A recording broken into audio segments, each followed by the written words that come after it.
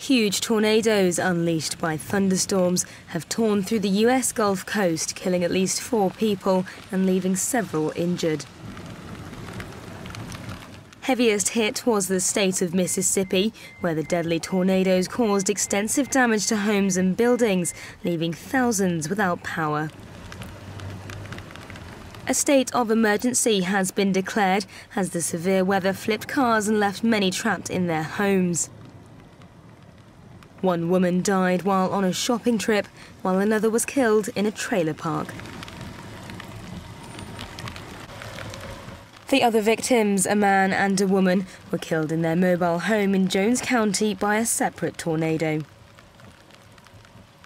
According to local authorities, more than 7,000 people have been without power across the two counties, and it remains unclear how many people are trapped in their homes.